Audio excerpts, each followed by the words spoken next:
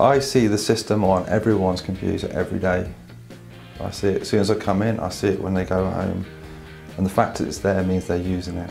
So the fact it's there and the people are using it and they're relying on it shows you how important it is for us to in our communications.